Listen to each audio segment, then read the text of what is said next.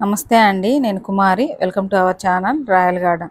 ఈరోజు వీడియోలో వచ్చేసి విరజాజ్ మొక్కని చాలామంది మేము కొమ్మలతో పెడుతున్నాము మాకు రావట్లేదు అంటున్నారండి. ఇది వచ్చేసి చాలా ఈజీ మెథడు. ఇక్కడ చూశారు కదా నేను వచ్చేసి ఎయిర్ లేయరింగ్ చేశానండి.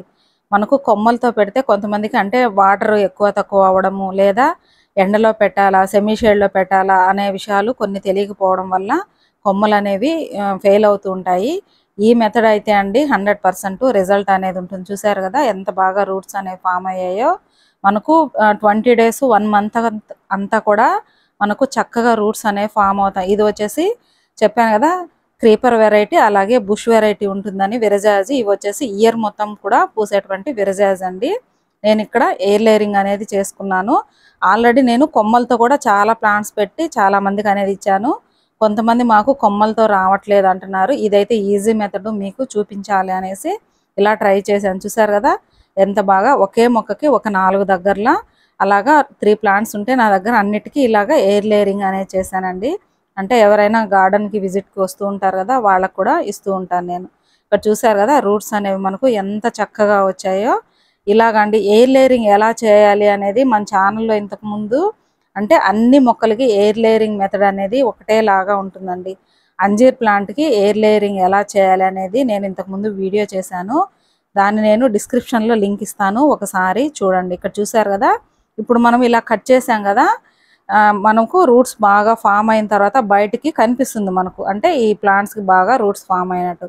అప్పుడు నేను ఈ కొమ్మని తీసి చిన్న పాట్లోకి అనేది షిఫ్ట్ చేసుకుంటానండి. ఇక్కడ చూసాం కదా దీనికి మనకు రూట్స్ ఎలా వచ్చాయనేది దీన్ని ఒకసారి ఓపెన్ చేసి చూద్దాము. మనము కొద్దిగా ఎక్కువ రోజులు ఉంచామంటే ఎక్కువ రూట్స్ అనేవి ఫామ్ అవుతాయి. మనకు కొంచెం రూట్స్ వచ్చినా కూడా సరిపోతుంది ఎందుకంటే ఇప్పుడు రైనీ సీజన్ వింటర్లో కదా ఒక రెండు రూట్స్ ఉన్నా సరే మనకు ట్రాన్స్ప్లాంట్ చేసుకున్నామంటే చక్కగా ప్లాంట్స్ అనేది మనకు సర్వైవ్ అయిపోతాయి. చూసారు కదా కోకో పిట్లో పెట్టి ఇట్లా ఎయిర్ లేయరింగ్ అనేది చేశాను. ఇది అంటు కట్టడం అంటారండి. గ్రాఫ్టింగ్ అంటే ఒక మొక్క నుంచి ఇంకొక మొక్కని అంటు కట్టడం గ్రాఫ్ట్ చేయడం అది వేరు. ఇది వచ్చేసి సేమ్ ప్లాంట్కి మనము అంటు కట్టడం అనమాట అంటే ఎయిర్ లేయరింగ్ అనేది చేయడం. చూసారు కదా ఎంత చక్కగా రూట్స్ అనేవి వచ్చాయో. ఇది గార్డెనింగ్లో జీరో నాలెడ్జ్ ఉన్న వాళ్ళు కూడా అండి చాలా చక్కగా అయితే ఈ మెథడ్ అనేది సక్సెస్ అవుతుంది.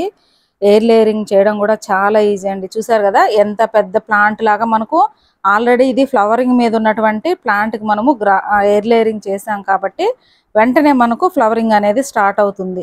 ఇప్పుడు ఎక్స్ట్రా పాయింట్ ఉన్నింది కదా కింద కొంచెము అది అనేది నేను కట్ చేసేసాను. కట్ చేసేసి చిన్న పాటలు అండి.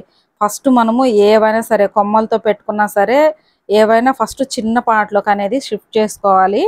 ఇక్కడ నేను ఫిఫ్టీ పర్సెంట్ గార్డెన్ సాయిల్ తీసుకున్నాను.